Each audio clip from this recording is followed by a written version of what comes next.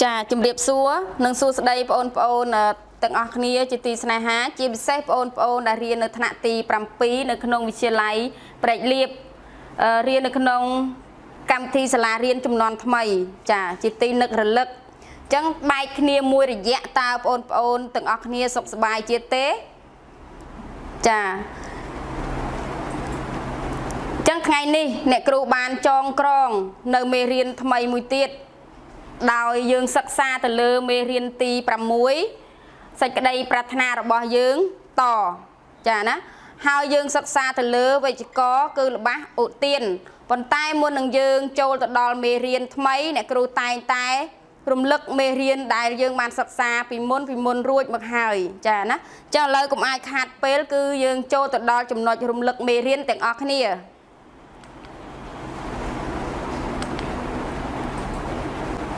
ចាអញ្ចឹងកាលពីសប្តាហ៍មុនគឺបងប្អូនបានសិក្សាជាមួយអ្នកគ្រូស៊ូហុចគឺបងប្អូនបានរៀនអំពី ការប្រើប្រាស់ជីរបស់កសិកររបស់យើងអញ្ចឹងអ្នកគ្រូចង់ដឹងខ្លះខ្លះចំពោះមេរៀនដែលបងប្អូនបានរៀនណាការប្រើប្រាស់ជីរបស់កសិករចាអញ្ចឹងសំណួរទី1ដែលអ្នកគ្រូចង់ដឹងគឺតើអ្វីខ្លះដែល គេអាចយកមកធ្វើជាជីធម្មជាតិចាណា ឬក៏គេអាចហៅម្យ៉ាងទៀតបានថាគឺជីកំប៉ុស្តចាអញ្ចឹងគឺមានអ្វីខ្លះអញ្ចឹងយើងតាមមើលចម្លើយចាណាអញ្ចឹងសម្ភារៈដែលគេអាចយកមកធ្វើជាជីធម្មជាតិបានចាណាមានដូចជាលាមកគោក្របីសេះ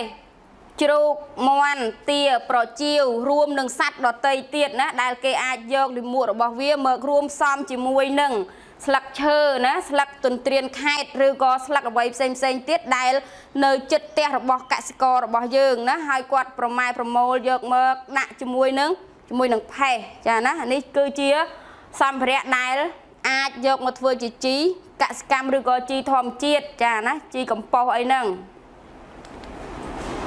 ចាណាអញ្ចឹងសំណួរទី2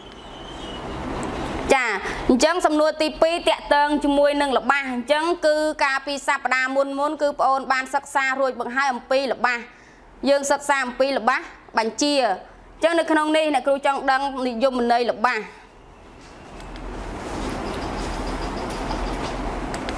ចាណាអញ្ចឹងគឺល្បះមានន័យថាការផ្សំពាក្យនិងពាក្យ clear និង clear ឲ្យមានន័យគ្រប់គ្រាន់អាចស្ដាប់បាន ហើយបញ្ចប់ទៅដោយ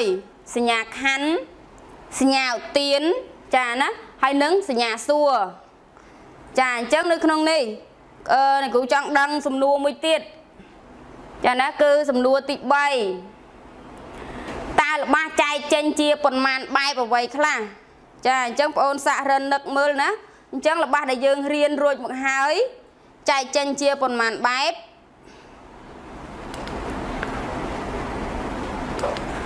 ចារបស់ដែលយើង បានរៀនរួចមកហើយគឺចែកចេញជា4បែបចាទី1គឺល្បះបញ្ជាក់ណាគឺបញ្ចប់ទៅដោយសញ្ញាខណ្ឌចំណែកឯទី2គឺល្បះបញ្ជា ចាណាគឺបញ្ចប់ទៅដោយសញ្ញាខណ្ឌដូចគ្នាឯទី3គឺល្បះសំណួរណាគឺយើងបញ្ចប់ទៅដោយសញ្ញាសួរហើយទី4 គឺល្បះឧទានចាគឺគេអាចបញ្ចប់ដោយសញ្ញាឧទានផងនិងសញ្ញាខណ្ឌផងចាចាណាគឺយើងសិក្សាអំពីវេយ្យាករណ៍ចាគឺល្បះឧទានចាអញ្ចឹងមុននឹងឈានចូលដល់ខ្លឹមសារមេរៀនគឺបងអូនត្រូវដឹងពីវត្ថុបំណងនៃមេរៀនជាមុនសិនចា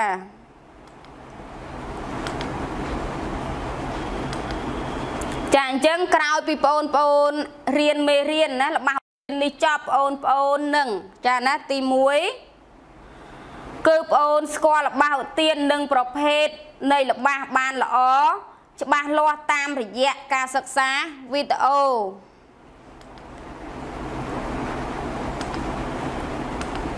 ចាចំណែកឯទី2គឺ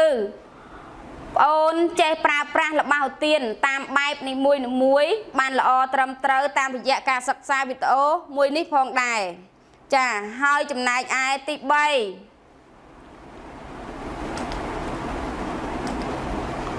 ចាណាគឺអ្នកគ្រូសង្ឃឹមថាពេលដែលប្អូនរៀនមេរៀនលបោទៀននេះចប់គឺប្អូនអាចតែងលបោទៀនបានច្បាស់លាស់ពិតប្រកបត្រឹមត្រូវចាណា តាមរយៈការសិក្សាវីដេអូជាមួយអ្នកគ្រូចាចាចឹងយើងចូលមកដល់ខ្លឹមសារមេរៀនចឹងសំណួរទី1ដូចម្ដេចទៅដែលហៅថាលបាសឧទាន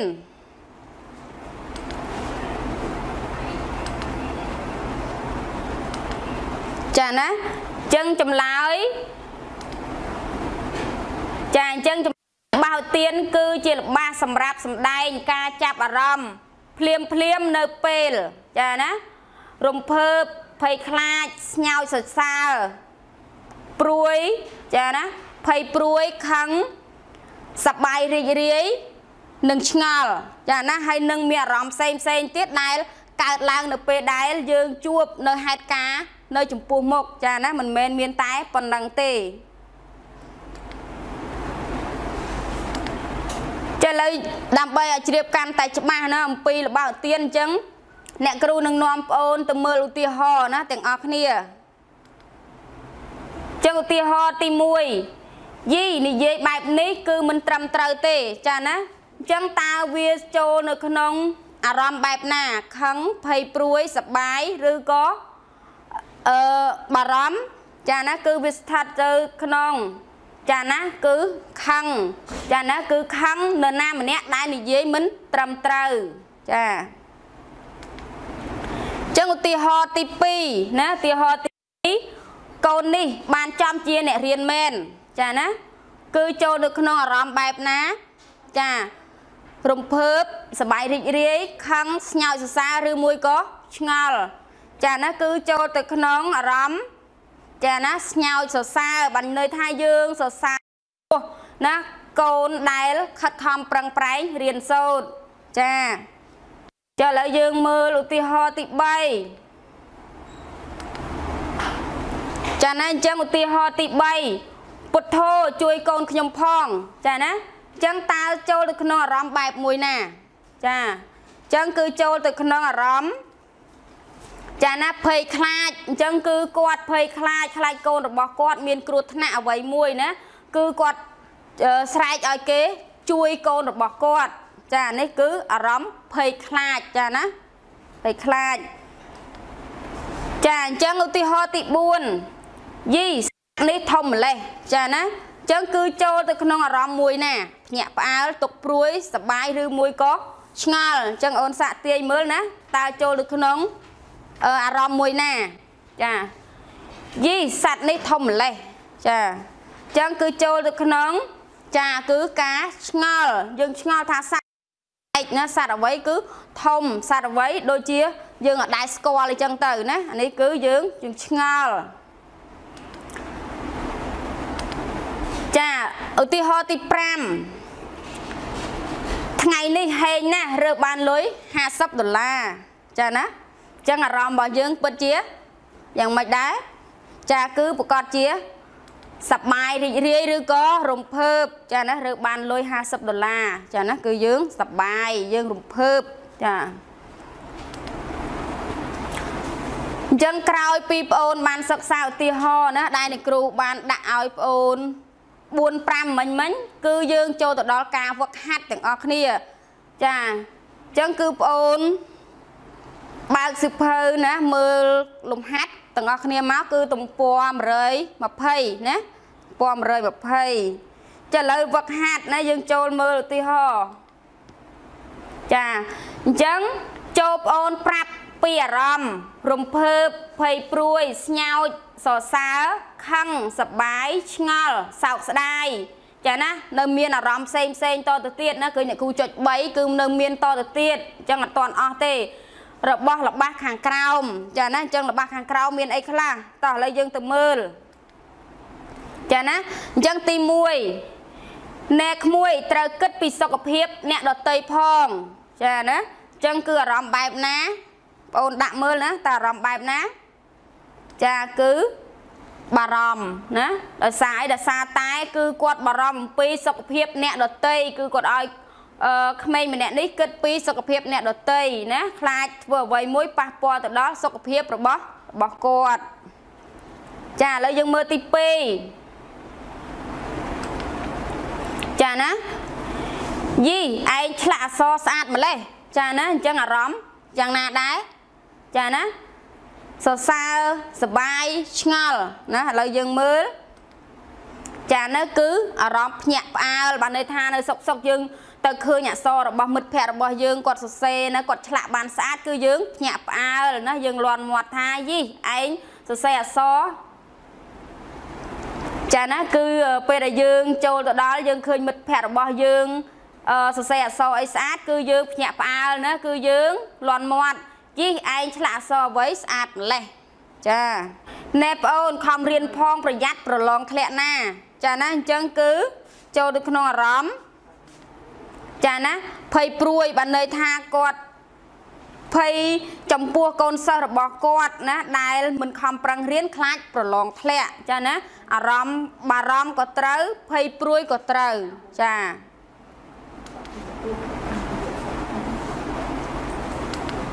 ឥឡូវយើងឈានមកដល់ទី4ណាឧទាហរណ៍ទី4ណែជប់សិនមើលស្អីស្ទងស្ទងនៅខាងមុខចាណាគឺអារម្មណ៍ ចាណាគឺឆ្ងល់ឆ្ងល់ថាអ្វីដែលគាត់ដើរទៅឃើញស្ទង់ស្ទង់នៅពីមុខរបស់គាត់ណាតើគាត់ឆ្ងល់គាត់មានអារម្មណ៍ថាងឿងឆ្ងល់ណាថាជាសត្វអ្វីអញ្ចឹងទៅណាឧទាហរណ៍ទី4ឥឡូវយើងចូលមកដល់ចានៅឧទាហរណ៍ទី5ហឺសត្វនេះចង្រៃមែនចាណាគឺគាត់អារម្មណ៍របស់គាត់យ៉ាងម៉េចដែរចាគឺ គាត់ខឹងដោយសារតែគាត់ខឹងថាសัตว์អ្វីមួយធ្វើឲ្យខូចផលប្រយោជន៍របស់គាត់អីចឹងទៅសัตว์ហ្នឹងគឺគាត់មិនស្រឡាញ់គាត់ស្អប់អីចឹងទៅណាគឺគាត់ខឹងសัตว์ហ្នឹងមករញ៉េរញ៉ៃអីចឹងទៅចាណា6ណាបន្តចា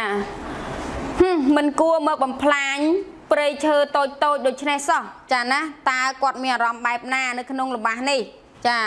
គាត់សបាយគាត់រីករាយគាត់ឆ្ងល់ណាឬក៏គាត់ ទុកព្រួយឬក៏បារម្ភចាណាគឺអារម្មណ៍របស់គាត់ចាណាគឺសោកស្ដាយចាណាគឺគាត់សោកស្ដាយថាមិនគួរណាមកកាប់បំផ្លាញព្រៃឈើតូចតូចដូចឆ្នេះសោះណាប្រសិនបើព្រៃឈើអស់ទាំងនោះគឺជាអឺវាមានប្រយោជន៍ណាសម្រាប់មនុស្សទូទៅណាបើសិនយើងបំផ្លាញទៅគឺធ្វើឲ្យប៉ះពាល់ដល់បរិស្ថានធ្វើឲ្យ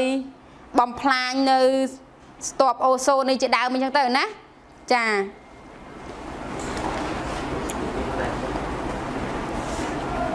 ចាឥឡូវយើងឈានមកដល់លំហាត់ណាក្រោយពីយើងធ្វើការវឹកហាត់អឺព្រមទាំងឧទាហរណ៍ជាច្រើនអញ្ចឹងយើងចូលមកដល់លំហាត់ទាំងអស់គ្នាចាណាអញ្ចឹងយើងឈានមកដល់លំហាត់ទាំងអស់គ្នាណាបន្ទាប់ពី យើងបានអនុវត្តការវឹកហាត់និងឧទាហរណ៍មួយចំនួនដែលអ្នកគ្រូបានដាក់ឲ្យប្អូនចឹងចូលប្អូនតែងល្បះឲ្យបាន5ចាណាអ្នកគ្រូទុកពេលឲ្យប្អូន5នាទីក្នុងការតែងអញ្ចឹងប្អូនត្រូវបញ្ជាក់អារម្មណ៍យ៉ាងម៉េចព្រួយណាខឹងសបាយសោកស្ដាយបារម្ភនិងអារម្មណ៍ផ្សេងផ្សេងទៀតចាណាដែល អឺបងអូនកើតឡើងនៅចំពោះមុខចាណាដែលបងអូនកំពុងតែងអ្វីដែលបងអូនរនឹកឃើញចាណាអញ្ចឹងរយៈពេលប្រហែលជា5នាទីណាតែងល្បះគំនិតណាយើងរៀនហើយមេរៀនគំនិតឬក៏មតិគឺជាការយល់ឃើញផ្សេងផ្សេងគ្នាចាណាអញ្ចឹងគំនិតរបស់បងអូនក៏ត្រឹមត្រូវគំនិតរបស់អ្នកគ្រូក៏ ត្រឹមត្រូវណាគឺការយល់ឃើញផ្សេងផ្សេងគ្នាអញ្ចឹងគេហៅថាមតិឬក៏គំនិតអញ្ចឹងឥឡូវយើងមកមើលគំនិតរបស់អ្នកគ្រូក្នុងការតែងល្បះឧទានវិញម្ដងចាណាអញ្ចឹងអ្នកគ្រូតែងល្បះទី1អូយចុកពោះណាស់ចាណាអញ្ចឹងអារម្មណ៍របស់អ្នកគ្រូនៅពេលហ្នឹងគឺចាណាយ៉ាងម៉េចគឺអ្នកគ្រូភ័យណាអ្នកគ្រូខ្លាចចាអ្នកគ្រូឈឺចាប់អញ្ចឹងទៅចាអ ញ្ចឹងទី2កុំទៅទីនោះទឹកជ្រៅណាស់ចាណាគឺ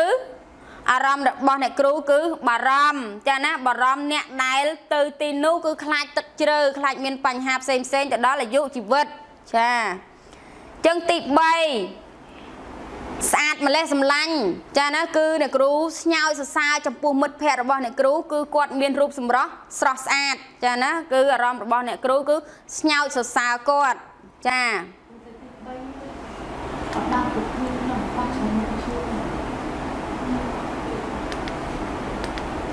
ចាអញ្ចឹងទី4ណាទី4មិនក៏ឯងធ្វើបាបប្អូនអញ្ចឹងចាគឺអារម្មណ៍របស់អ្នកគ្រូនៅពេលហ្នឹងគឺអ្នកគ្រូយ៉ាងម៉េចចាគឺអ្នកគ្រូអារម្មណ៍គឺខឹងចាណាខឹងនៅពេលដែលអឺក្មេងម្នាក់ត្រូវជាបងធ្វើបាបប្អូនរបស់គាត់ចាណា គឺអ្នកគ្រូមានអារម្មណ៍ថាខឹងគាត់ចាអញ្ចឹងទី5ចាណាទី5អរគុណម៉ាក់ដែលទិញកាដូឲ្យកូន ចាណាអញ្ចឹងបងអូនសាក់ទាយទៅមើលតាអារម្មណ៍របស់អ្នកគ្រូនៅពេលហ្នឹងយ៉ាងម៉េចដែរចាគឺអ្នកគ្រូ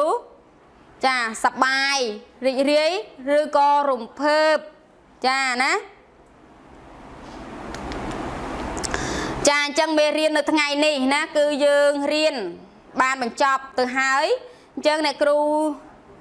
សុំសួររំលឹកខ្លះខ្លះណាអំពីមេរៀនដែលយើងបានរៀនហើយអញ្ចឹងតើថ្ងៃនេះបងអូនបានរៀនអំពីអ្វីចាណាគឺបងអូនបានរៀនអំពីវេយ្យកចាលបាសឧឧទានចាអញ្ចឹងតើដូចម្ដេចទៅដែលហៅថាលបាសឧទាន ចាលបាសឧទានគឺជាលបាសដែលសំដែងការចាប់អារម្មណ៍ភ្លាមភ្លាមចាណាហើយអារម្មណ៍ទាំងនោះមានដូចជា ការសបាយរំភើបរីករាយទុកព្រួយឆ្ងល់ខឹងសោកស្ដាយជាដើមចាណាអញ្ចឹងនៅមានតទៅទៀតអញ្ចឹងអ្នកគ្រូអឺអរគុណចំពោះការតាមដាន សិក្សារបស់បងប្អូនហើយអ្នកគ្រូជូនពរឲ្យបងប្អូនទាំងអស់គ្នា បានសុខភាពល្អចាណាឲ្យថែតមអនាម័យខ្លួនប្រានណាធ្វើម៉េចឲ្យយើងមានសុខភាពល្អតទៅទៀតចាអញ្ចឹងអ្នកគ្រូអរគុណច្រើន